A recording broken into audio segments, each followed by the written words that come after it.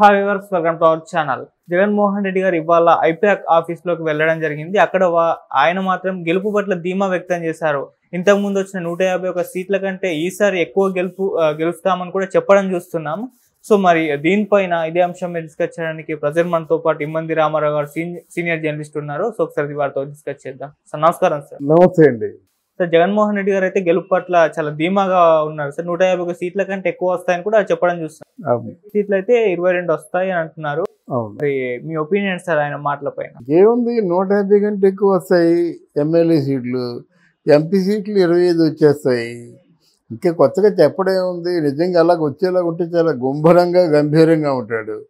ఆయన గడ్డి complex complex ఎక్కువైపోతుంది. ఇప్పుడు ఆయన తాలూకు పేటీఎం వాళ్ళు ఉన్నారు కదా డబ్బులు తీసుకొని చెప్పేవాళ్ళు.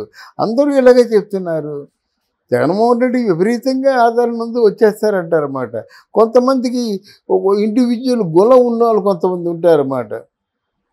అంటే ఇప్పుడు జర్నలిస్ట్కి ఎప్పుడు కూడా ఇండి ఇండివిజువల్ ఫేవర్ ఉండకూడదు. జర్నలిస్ట్ ఎప్పుడు ప్రజలు ఏమనుకుంటున్నారు అన్నది ప్రశ్న జర్నలిస్ట్ వేయాలి. ఎనలిస్ట్ ఏమో ప్రజల మనసు ఏముంది ప్రజల మనసులో ఎటువంటి తీర్పు ఇవ్వబోతున్నారు అన్నది ఎనలైజ్ చేసి చెప్పాలి. అంతేగాని నాకు ఫేవర్ ఉంటే వేరు కదా. తర్వాత ఏమవుతాను నేను? తర్వాత ఏమవుతా నేను అసుకు చెప్పాడు అంటారు కదా. అలా కాకుండా ఆయన చెప్పారంటే ఇది కరెక్ట్గా ఉంటుంది. అంటే నిజానికి చాలా దగ్గరగా ఉండాలి.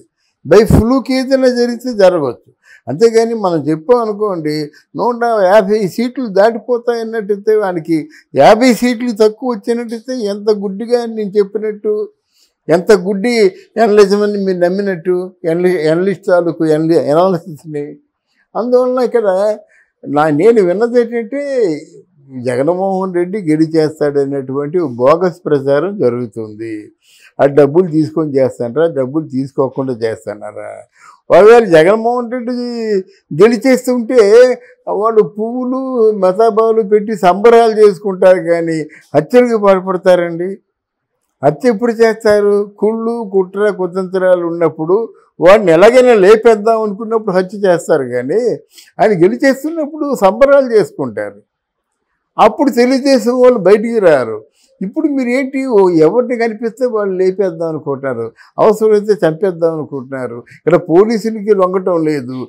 అక్కడ హైకమాండ్ పిలిచినంత వరకు కూడా పిలిచినప్పుడు కూడా రెచ్చిపోతున్నారు. బాహాటంగా కర్రలు కత్తులు సుత్తులు గుణపాలు ఇవన్నీ తీసుకొని తిరుగుతున్నారంటే మీరు గెలిస్తే ఇవ్వా మీరు. పట్టుకొని తిరుగుతారు ఒకటి. జగన్మోహన్ రెడ్డి ఐపాక్ వాళ్ళకేమో ఒప్పందం ప్రకారం యాభై కోట్లు ఇవ్వాలి ఆ అమౌంట్ ఇవ్వలేదు ఇంకా. ఇవ్వకపోతే వాళ్ళు అడిగారన్నమాట అది అమౌంట్ మీరు కాంట్రాక్ట్ మీరు గెలిచినా గెలవకపోయినా మీ కింద పనిచేసాం కనుక మేము పనిచేసినందుకు గాను ఇవ్వవలసింది ఏదో ఐదు లక్షలు పది లక్షలు కాదు కదా యాభై కోట్లు. ఎందుకు ఎవరంటే చచ్చిపోండి మీరే నన్ను ముంచారన్నప్పుడు భారతమ్మ దగ్గరికి వెళ్ళినట్టయితే అదేంటది మనం మాట్లాడుకున్నాం కదా ఒప్పందం అంటే ఒప్పందమే అని భారతమ్మ దగ్గరుండి ఐప్యాక్ వాళ్ళకి ఇప్పించింది మాట ఇదొక ప్రచ వా- ఇదొక ప్రచారంలో ఉంది. తర్వాత ఐపాక్ వాళ్ళని పిలిచి ఎందుకు ఎలా జరిగిందంటే వాళ్ళు చాలా క్లియర్ కట్గా ఇదంతా మీరు చేసుకుంది మీ నాయకులు చేసుకుంది మీ మినిస్టర్లు చేసిందని చాలా తేట తెల్లంగా చెప్పారు. చెప్పిన తర్వాత నేనేమనుకున్నాడంటే ఈయన జగన్మోహన్ రెడ్డి నేను మళ్ళీ ప్రమాణ స్వీకారం విశాఖపట్నంలోనే చేస్తాను. విశాఖపట్నమే నా రాజధాని. విశాఖపట్నంలో కొన్ని కోట్లు ఖర్చు పెట్టి ఆ రోజు సంబరాలు చేద్దామని విశాఖపట్నంలో పురమాయించారు. అలాగే ఇక్కడ నెక్స్ట్ విజయవాడలో కూడా ప్రమాణ స్వీకారం చేస్తాం సంబరాలు చేసుకుందామని విజయవాడలో కూడా పురమాయించారు. ఇప్పుడు కొత్తగా వైసీపీ పార్టీ అధినేత ఏమంటున్నాడంటే ఇంకా సంబరాలు లేవు ఏమి లేవదు లేదు మీరు ఇవన్నీ మానుకోండి క్యాన్సిల్ చేసేయండి ఇంకా సంబరాలు లేవు సంబరాలు మానుకుందాం చూద్దాం తర్వాత అనేటువంటి. దాని అఫీషియల్గా కూడా అంటే చాలా విశ్వసనీయ సమాచారం ఏమిటంటే సంబరాలు గింబరాలు ఏం చేసుకోవద్దు అవసరం లేదు. Okay let's wait and see అనేటువంటి ఆ- నిర్ణయానికి వచ్చి ఉన్నాడు వైసీపీ. కానీ గెలిచి అందాక ఇది ఈ నాలుగు రోజులు ముచ్చట ఏంటంటే గెలిచి అంటే ఒక రాజ్యం వెళ్దాం అనుకున్నటువంటి చక్రవర్తి ఆ ఓటమిని అంగీకరించ మనమే రాబోయే ప్రభువు మనమే రాబోయే యువరాజు అని చెప్పుకుంటుంటాడు. అంటే ఏమిటి? ఆయన పేగ తెగిపోయినంత వరకు చెప్తూనే ఉంటాడు. రాజుల కాలం అయితే. ఈ మంత్రులు అయితే ఏం చేస్తారంటే ఆ ఫలితాలు బయటపడి ఎవరో సమర్థుడైన నాయకుడు సీఎం అయినంత వరకు కూడా చెప్పుకుంటూ ఉంటారన్నమాట. తర్వాత ఏం చెప్తారో వాళ్ళే ఆలోచించుకోవాలి. ఇప్పుడు ఏం చెప్పి అప్పుడు ఏం అప్పుడు లేదు లేదు మేమే రావాల్సింది మమ్మల్ని మోసం చేశారు ఎన్నికలు సజావుగా జరగలేదని ముందే ముఖ్యమంత్రి జగన్మోహన్ రెడ్డి చెప్పాడు. మేము అప్పుడే చెప్పాం ఎన్నికలు సజావుగా జరగలేదు వీళ్ళు చాలా రౌడీజం చేశారు. ఇక్కడి నుంచి కాదు అమెరికా నుంచి వచ్చి మరి రెడీ రౌడీజం చేశారని వాళ్ళు చెప్పుకుంటారు అన్నమాట. ఏదేమైనా ఇది ప్రజల దృష్టిలో పడిపోయింది ప్రజా వ్యతిరేకత వచ్చింది. బిడ్డల భవిష్యత్తు పూర్తిగా నాశనం అయిపోయిందనే విషయం తెలిసింది. జనం తాలూకు సంపదని సంపదని కొల్లగొడుతున్నాడనే విషయం తెలిసింది. ప్రభుత్వ ఆస్తుల్ని తాకట పెడుతుండని తెలిసింది. ఋషులు నివసించినటువంటి ఋషికొండని సైతం దాని గుండెలు బద్దలు కొట్టాడని తెలిసింది. ఇంకా వాట్ నాట్? అంటే మద్యాన్ని నిషేధం చేస్తాను ఒకవేళ మద్యాన్ని కానీ నిషేధం చేయకపోతే మిమ్మల్ని ఓటు అడగను అన్నాడు. దాన్ని రేటు అంటే రెట్టింపు పెంచేశాడు బెల్ట్ షాపులు పెంచేశాడు పైగా. మద్యం మీద పాతిక వేల కోట్ల రూపాయలు అప్పు చేశాడు. ప్రభుత్వ ఆస్తులు తాకట్టు పెట్టేశాడు.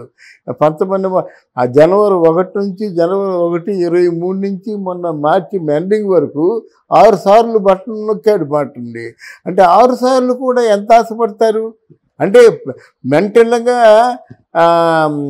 ఓటర్లని అంటే మెంటల్గా ఓటర్లని ఎంత ప్రలోభపట్టాడు? జనవరి నుంచి ఆరు సార్లు ఇదిగో అన్న అసారా జగన్ అసారా అని ఏదో ఆ- ఆ- ఆ పథకం ఈ పథకం అన్నారన్నమాట. వెళ్ళి చూసుకుంటే పథకం బ్యాంకులో పట్టడానికి ఎన్ని రోజులు పడుతుంది? రోజు. లేకపోతే రెండో రోజు పడిపోరు కదా. ఇప్పుడు ఆరు సార్లు ఇదిగో పథకం అదిగో పథకం ఇదిగో పథకం జనాన్ని పూర్తిగా భ్రమింపచేసి ఇప్పటికి కూడా పద్నాలుగు వేల కోట్ల రూపాయలు తన ఖజానాలో పెట్టుకున్నాడు అనమాట మరి ఇవన్నీ ఎంత మోసం అండి? ఎందుకు ఇలా చేసావైనా కోర్టు అడుగుతుంది రేపు పొద్దున్న. Election commission అడుగుద్ది. ఎలక్షన్ దగ్గర ఉంటుండగా మార్చి వరకు కూడా నొక్కావు కదా నువ్వు? ప్రజల్ని ఎంత చీట్ చేస్తావు ఏ ప్రజలు అడిగే సమాధానం అంటే ప్రశ్నకి సమాధానం ఏం చెప్తావు? అంటే ఏ ముఖం పెట్టుకొని నిన్ను అంటే వైఎస్ జగన్ పార్టీ గెలిచేస్తుందని అనుకున్నావు నువ్వు ఏ ముఖం పెట్టుకొని నువ్వు ఈ విధంగా ప్రకటిస్తావు అంటే ప్రజలే అడుగుతారు. నేను అడగవలసిన అవసరం లేదు. నేను ఒక మాట చెప్పేవచ్చు. డబ్బులు తీసుకొని మాట చెప్పొచ్చు. ఎంత ఇస్తారండి? కుక్క బిస్కెట్ తిన్నట్టు. ఏదో పారేస్తే దానికి స్టాండ్ అయిపోయి నూరేళ్ళు బ్రతకవలసినటువంటి జర్నలిజం లైఫ్ని అమ్ముకోవడం కరెక్ట్ అంటారా? చెప్పండి.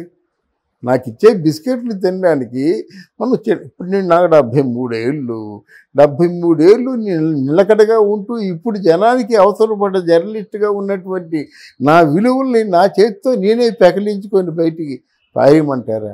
విజ్ఞులు ఆలోచించుకుంటే మంచిది. లేదా బజార్ మా మాటలన్నీ బజార్న బజారు పాలైపోయినట్టే మనం కూడా బజారు పాలైపోయి ఏదో అంటే నోటుకు వచ్చినట్టుగా వాగే కొమ్మదాసిరి ఉంటారు చూసారా? పల్లెటూళ్ళకి వస్తారన్నమాట. అన్ని గొప్పలు చెప్తుంటాడు ఏదో పొగడతలు పొగుడుతుంటాడు ఆ మాట ఈ మాట చెప్పి వినోదపరుస్తుంటాడు అన్నమాట మనం కూడా వినోదపరిచే సాధనాలుగా చరిత్రలో మిగిలిపోతాము. జగన్మోహన్ రెడ్డి కూడా డెఫినెట్గా చాలా చాలా సమాధానాలు చెప్పుకోవాలి. ప్రజలు కాదు కోర్టులు చెప్పుకోవాలి జైళ్ళకి చెప్పుకోవాలి అందరికీ చెప్పుకోవాలన్నమాట. ఇది ఎంత మాత్రం కాదు మళ్ళీ కూటమి మాత్రమే వస్తుంది. మళ్ళీ చంద్రబాబు నాయుడు సీఎం అవుతాడు. కూటమి ద్వారా మరికొన్ని మంచి పనులు జరుగుతాయని అంటే నిర్బంధంగా మనం చెప్పవచ్చు ప్రజలు మేలు జరుగుతుందండి. సార్ జగన్ గారు అయితే వంద యాభై ఒకటి పైన అని అంటున్నారు. మీ ఒపీనియన్ ఎన్ని వస్తాయి సార్? నవ్వుకుంటారండి జనాలు. వంద యాభై పైన అనుకుంటే నవ్వుకుంటారు. వంద యాభై పైన అయితే నువ్వు ఎందుకు వేడుకలు బానిమని చెప్పావు? ఎందుకు క్యాన్సిల్ చేసుకున్నావు? ఎందుకు హై ఐ ఐప్యాక్ మీద ప్యాకప్ వచ్చేసి వెళ్ళిపోండి చెప్పావు. ఆయనకి ఇవ్వాల్సిన డబ్బు కోసం ఎందుకు పేచి పెట్టావు చెప్పనండి సమాధా సమాధానం. మీరు గెలిచేవారైతే చంపడానికి ఎందుకు బయలుదేరుతారు? వీళ్ళందరినీ చంపడానికి ఎందుకు పంపిస్తారు? చాలా ఫుల్ దోశలో ఉంటారన్నమాట. ఎందుకు లేరు? నూట యాభై ఒకటి కనుక చాలామంది అంటున్నారు యాభై కూడా దాటం అంటున్నారు. నేను అంటున్నాను మ్యాక్సిమం వస్తే యాభై కంటే దాటవని నేను కూడా చెప్తున్నాను. వాళ్ళు చెప్పినట్టుగా పదో ఇరవయో ముప్పయో చెప్పను నేను. అంటే వైఎస్ఆర్ పార్టీ ముప్పై స్థానాలు మించి వెళ్ళదు. లోక్సభకి ఏంటంటే ఒక ఐదో ఆరో ఎనిమిదో ఎన్నో వస్తాయి. పది స్థానాలు మించి వెళ్దా అంటున్నారు అనమాట ఇప్పుడు ఇట్లా ఏడును అక్కడ ముప్పై ఎన్నో వస్తాయని వీళ్ళు అంటారు. నేను అనుకుంటా మహా కష్టం వస్తాయి ఒక యాభై సీట్లు వస్తాయి. మహా కష్టం వచ్చినట్టు ఐదు సీట్లు వస్తాయి ఎంపీ సీట్లు. ఐదు లేదా ఏడు. వీళ్ళు పద్దెనిమిది. మొత్తం టోటల్ ట్వంటీ ఫైవ్ అన్నమాట. అలాగే ఇక్కడ వచ్చింది మాత్రం యాభై సీట్లు మాత్రం ఎట్టు మాత్రం దాట ఎట్టి పరిస్థితుల్లో దాటవు. తర్వాత అతిరథ మహారథులు అనిపించుకున్నట్టు అటు అటువంటి మన ఈ రోజాలు పెద్ద విడుదల రజనీలు కొడాలి నాన్నలు పేరు నాన్నలు అరుణ్ కుమార్ యాదవ్లు వీళ్ళందరూ బజాన పడిపోయారు కదండి. గుడివాడ అమర్నాథ్ అందరూ బజాన పడ్డారన్నమాట. వాళ్ళకి ముఖం చూపించుకోలేకపోతున్నారు కనుక డెఫినెట్గా ఎప్పటికైనా sincere effort never fails. Pawan Pawan Pawan Kalyan తాలూకు పోరాటం బాబు, చంద్రబాబు నాయుడు తాలూకు నిజంగా ఆయన తాలూకు ప్రజలకు ఏదో మంచి చేద్దామన్న ఆలోచన ఆయన తాలూకు అనుభవాన్ని ఆంధ్రప్రదేశానికి అందించాలంటువంటి తాపన. అలాగే మోదీ కూడా సమయానుకూలంగా ఆంధ్రప్రదేశ్లో ఉన్నటువంటి వీళ్ళిద్దరితో చేతులు కలపడం అసలు తెలుగుదేశం పార్టీకి కూడా నమ్మకం లేదు. ససేమే అని చెప్పేసి. అంటే అది మాత్రం పవన్ కళ్యాణ్ తాలూకు ఆయన పట్టు పట్టుదలకే మొదటి నుంచి మోడీ మనతో కలుపుకుందాం. మోదీ గారు ఉంటేనే మన విజయం. ఎందుకంటే మోదీ గారు లేకపోతే ఇంతకంటే అధ్వానంగా ఉండేది. ఆయన కూటమిలో ఉన్నారు కాబట్టి కొంచెం భయపడ్డారు. ఒకవేళ మోదీ గారి కూటమిలో లేకపోతే ఇంకా ఎంతమంది చచ్చిపోయేవారు. Okay sir thank you so much thank you